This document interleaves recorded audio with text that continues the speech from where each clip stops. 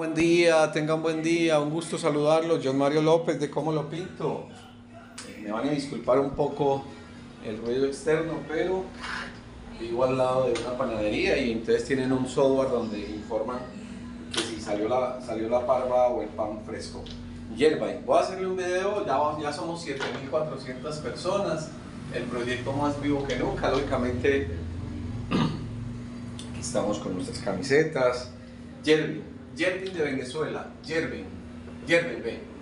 Lo que hemos venido hablando, te lo voy a explicar, que es mucho, es que en el tablero es más lúdico, más fácil, para mí más entendible, bueno, entonces, te pongo en contexto. Cuando hacemos pintura, yo lo he dicho muchas veces, nosotros le agregamos cuatro elementos, ¿cierto?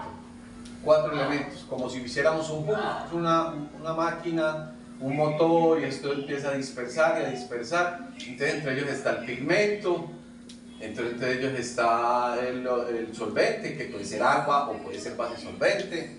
Eh, puede ser eh, los aditivos que te decía yo que son muy importantes, aditivos como los antifungicidas, eh, antidecantaste, los UV, bueno, los talcos, bueno. Pero el que estamos hablando es la resina.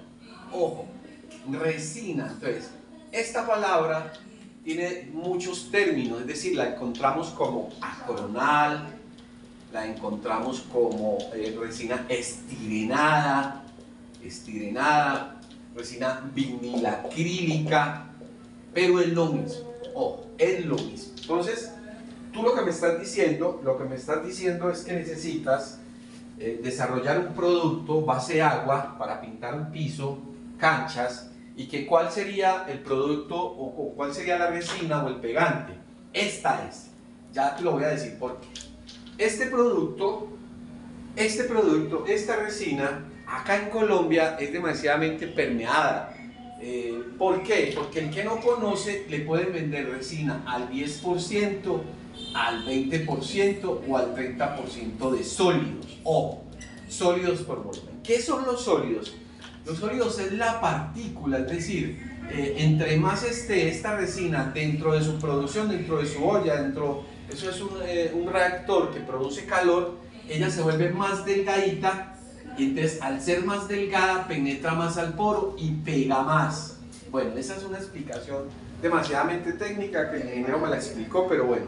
Pero eso que tú estás haciendo ahí, esa resina cumple esas funciones que tú me dices, es elastomérica, te, te, te une, es decir, lo más importante y el debate que hemos tenido es que ya cumple una función en la pintura que se llama covalescencia, que es la unión. Es decir, une esto, es lo que une todos estos elementos, los hace que se unan y se unan en un batido, en un batido, en un batido.